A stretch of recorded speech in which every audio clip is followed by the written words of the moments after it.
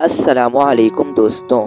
मेरा नाम है हसन और आप देख रहे हैं इंफॉर्मेटिव इंस्टीट्यूशन तो दोस्तों, उम्मीद है आप सब खैरियत से होंगे। आज की वीडियो में हम आपको दुनिया के बेहतरीन फुटबॉलर रोनाल्डो के मुतालिक आगाह करेंगे, जो हर उस शख्स की मोटिवेशन होगी, जो दुनिया में नाम कमाना चाहता है।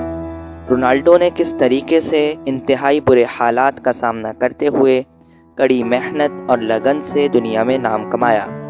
तो दोस्तों, रोनाल्डो, जो कि एक गरीब माली का बेटा था, उसकी पैदाइश 5 फरवरी 1985 को पुर्तगाल के एक शहर अंचल के एक इंतहाई गरीब घराने में हुई।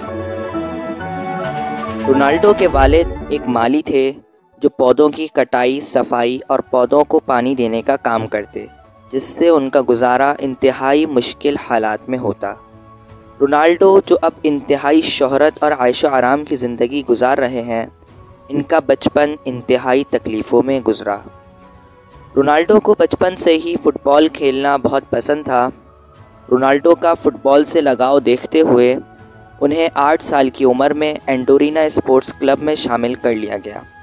लगन और काबिलियत के साथ साथ जुनून इतना था कि सिर्फ़ दस साल की उम्र में रोनाल्डो को पुर्तगाल के सबसे बड़े स्पोर्ट्स क्लब में शामिल कर लिया गया। दो साल तक वो पुर्तगाल के सबसे बड़े स्पोर्ट्स क्लब में खेलते रहे। उसके बाद स्पोर्टिंग लिस्पन के ऑफिसर्स ने उन्हें सेलेक्ट किया और 15 पाउंड में साइन कर लिया।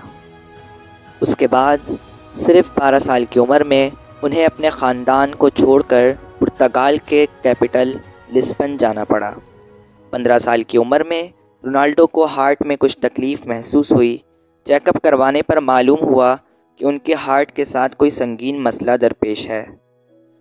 डॉक्टर्स ने इनके वालदेन को बताया कि या तो इन्हें फ़ुटबॉल खेलना बंद करना होगा या सर्जरी करवानी होगी। सर्जरी में उनकी जान भी जा सकती है, जिसकी वजह से उनकी फैमिली को मज़ीद मुश्किल का सामना करना पड़ा। फ़ुटबॉल खेलना रोनाल्डो का जुनून बन चुका था उन्हें फ़ुटबॉल छोड़ना कतई नामंजूर था और वो सर्जरी करवाने के लिए रजामंद हो गए। रोनाल्डो की हार्ट सर्जरी सक्सेसफुल रही और वो रिकवर होने के बाद फ़ुटबॉल खेलने दोबारा मैदान में उतरे। रोनाल्डो मुतमिन थे कि उन्हें एक नई ज़िंदगी मिली। इसके कुछ ही अरसे बाद रोनाल्डो की फैमिली पर दुख का पहाड़ आ गिरा। उनके वालिद इस दुनिया फ़ानी से कूच कर गए। रोनाल्डो, जो अपने वालिद के इंतहाई करीब थे, वो बुरी तरह टूट चुका था। रोनाल्डो के घर के हालात मज़ीद बदतर होते चले गए। रोनाल्डो के वालिद अपने घर के वाहिद कफील थे, जो अब इस दुनिया फ़ानी से रुखसत हो चुके थे। रोनाल्डो की वालदा अपने घर का चूल्हा जलाने और बच्चों का पेट पालने के लिए लोगों के घरों में खाना पकाने लगी। रोनाल्डो ने इस कठिन वक्त में भी फुटबॉल खेलना नहीं छोड़ा। मुसलसल मेहनत के बाद इस लगातार मेहनत और लगन से वो एक बेहतरीन खिलाड़ी के तौर पर उभरने लगे।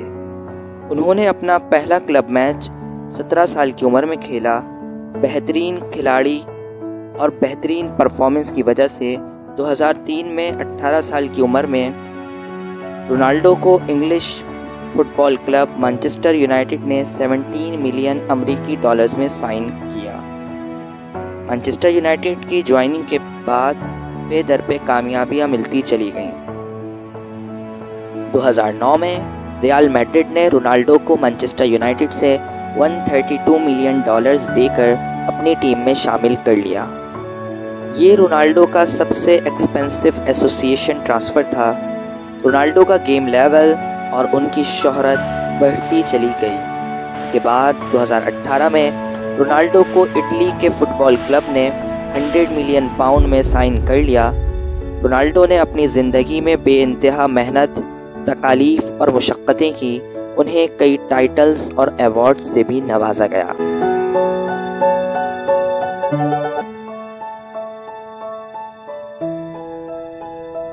इतनी शोहरत और आयशा इशरत मिलने के बावजूद वो अपने उन दिनों को नहीं भूले, जब उन्हें दो वक्त की रोटी के लाले पड़े थे। उनकी वालदा को दूसरों के घरों में जाकर खाना पकाना पड़ता। रोनाल्डो आज भी अपने उन दिनों का ज़िक्र करते हुए रो पड़ते हैं। वो अपनी कमाई को समाज में बहुत से लोगों को देकर उनकी मदद करते हैं। रोनाल्डो ने बच्चों के लिए स्कूल्स की तामीरात भी करवाई और वो बेशुमार लोगों की मदद भी करते हैं। यही नहीं, रोनाल्डो एक रेगुलर ब्लड डोनर भी है। रोनाल्डो का शुमार दुनिया के बेहतरीन खिलाड़ियों में होता है, मगर इसके साथ साथ उनका शुमार दुनिया के रईस तरीन लोगों में भी होता है। रोनाल्डो ने बेहद तकालीफ के बावजूद कभी मायूसी का हाथ नहीं थामा। बल्कि इन सब तकालीफ को झेला मुश्किल का डटकर मुकाबला किया। बेहद मेहनत और लगन की वजह से वो आज शोहरत की बुलंदियों पर पहुँचे और उभर के दुनिया के सामने आए।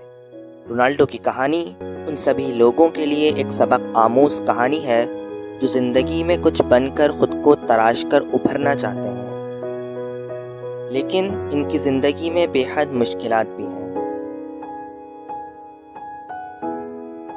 कभी भी उम्मीद का दामन नहीं छोड़ना चाहिए और दिल लगाकर मेहनत करनी चाहिए। बेशक मेहनत का फल बहुत जल्द मिलता है। दोस्तों, अगर आपको हमारी वीडियो पसंद आई तो इसे लाइक करें और कमेंट सेक्शन में अपनी कीमती राय का इजहार ज़रूर करें। हमारे चैनल को सब्सक्राइब करें, हमारी हौसला अफजाई करें और अगर आप किसी चीज़ के बारे में जानने के ख्वाहिशमंद हैं तो हमें आगाह करें ताकि हम आपके कमेंट्स को अपनी वीडियो का हिस्सा बना सकें जाते जाते बेल आइकन पर क्लिक करना ना भूलें, ताकि हमारी आने वाली हर वीडियो का नोटिफिकेशन आप तक पहुँच सके। अपना बहुत ज़्यादा ख्याल रखें। अल्लाह निगहबान